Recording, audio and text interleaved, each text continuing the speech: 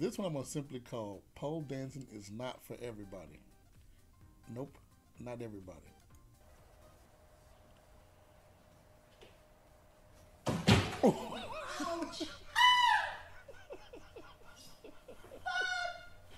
you better ice that down.